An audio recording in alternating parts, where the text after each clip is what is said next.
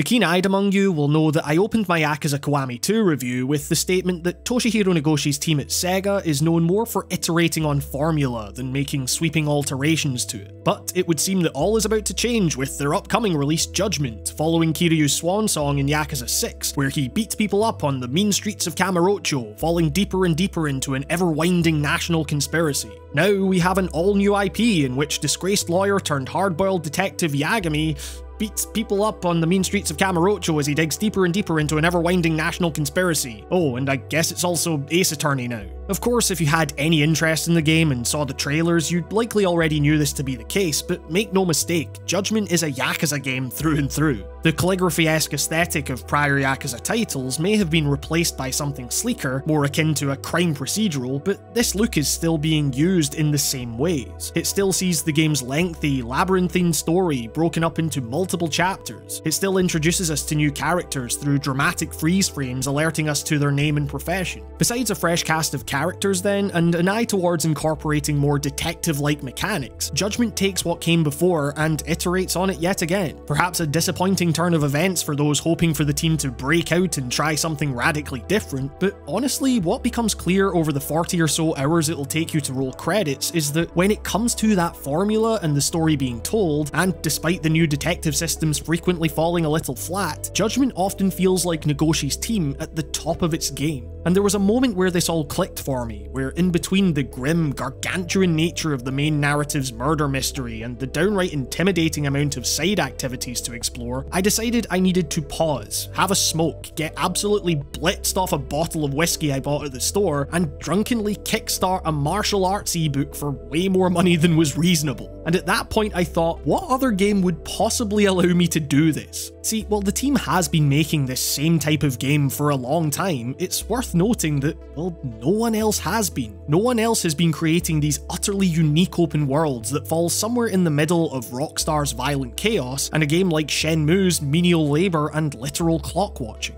Judgment captures a kind of heightened mundanity super well, allowing you to self-express in a way that, beyond the whole stomping on faces thing, bears some striking resemblances to real life. I mean, I'm sure many of us have spent money on things we maybe shouldn't have when drunk. It's mischievous, consistent with Yagami's character, rather than outwardly violently chaotic.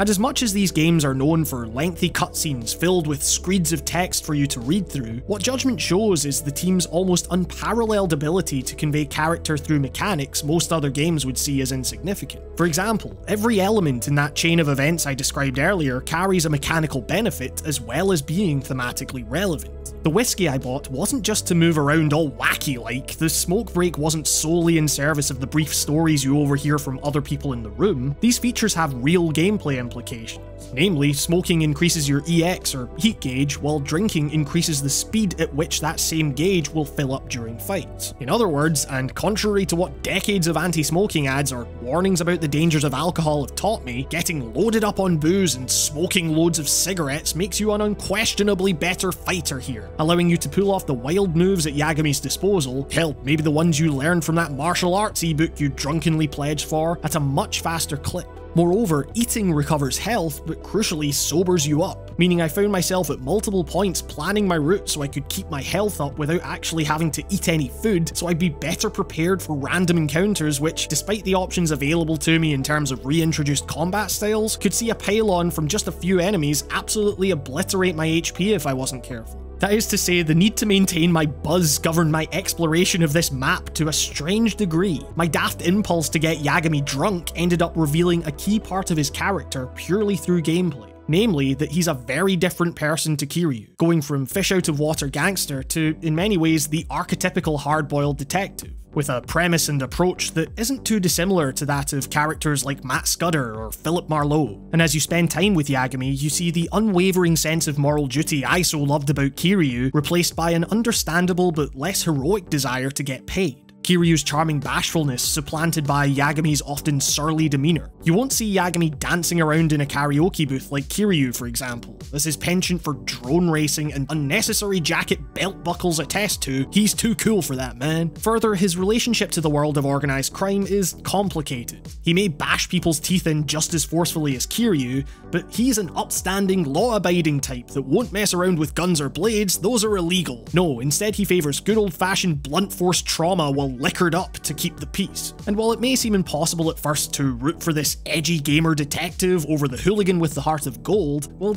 Yagami's writing is honestly just that good a lot of the time. All of his bluster belies the fact that he's trying to find his place in the weeds of the Japanese legal system, haunted by his past and racked with guilt over his previous actions as a lawyer, trying to reconcile the notion that a lawyer's job to win a trial and a detective's job to uncover the truth can be two very different things. His dogged determination to get to the bottom of the case trumps almost everything else, especially his own well-being. And so what better way to get across this inner turmoil to convey the noir vibe of proceedings here than mechanically incentivizing our character to engage in what are otherwise unhealthy, self-destructive habits. These games feature you slamming people's faces into the ground with cool martial arts and also bikes. To suddenly shift to something wholly self-serious just wouldn't make sense. So instead, why not say, you know, these Prohibition era detectives we're drawing from sure do rely on alcohol to an unhealthy degree. Let's make that the key to being good at fighting here. And it might sound like I'm making a big deal out of nothing, but little gameplay details like this mean that the team can maintain the more somber tone of hard-boiled fiction, while also playing it out against the backdrop of some of the most entertaining sub-stories seen since Yakuza 0, where you might chase a wig that's flown off a popular celebrity's head for example. It continues the creator's pretty masterful understanding of tone and how to convey it as only they can, stripping a genre framework down to its essentials and figuring out how to effectively represent that in an entirely different medium and style where you'd think it wouldn't fit. What are less effectively implemented then are the more literal representations of detective work,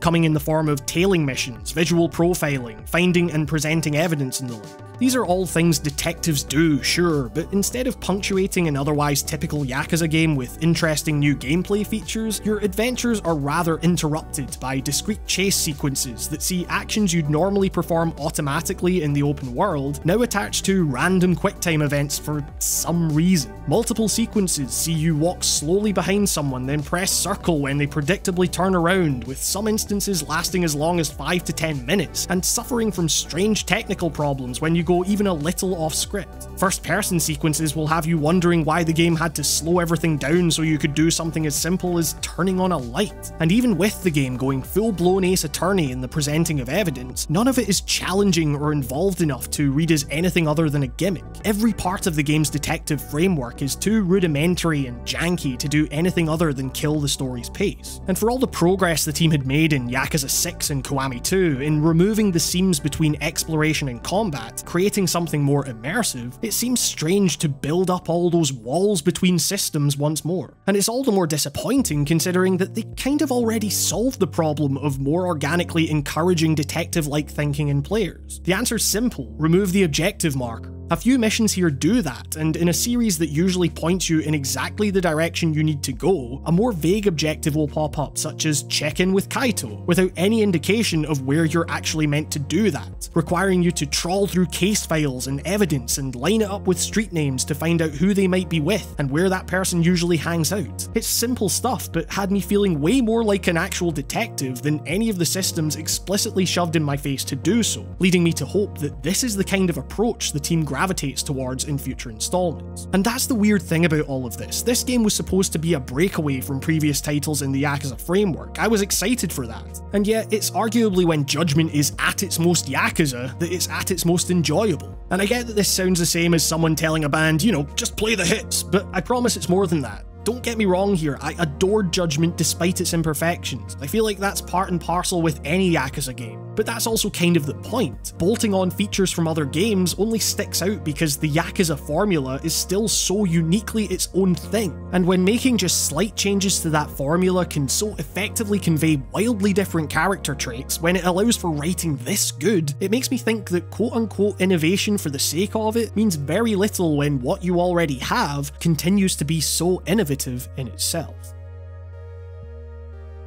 So I hope you enjoyed my review of Judgment. If you did and would like to support my work directly, you can always head to my Patreon like these wonderful folks currently on screen. Your support is absolutely what allows me to put in the time necessary to make these videos, and I cannot thank you enough for that.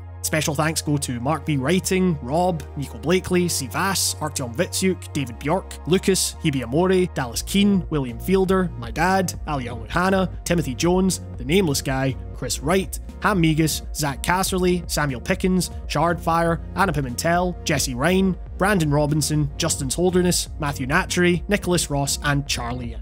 And with that, this has been another episode of Writing on Games. Thank you very much for watching, and I will see you next time.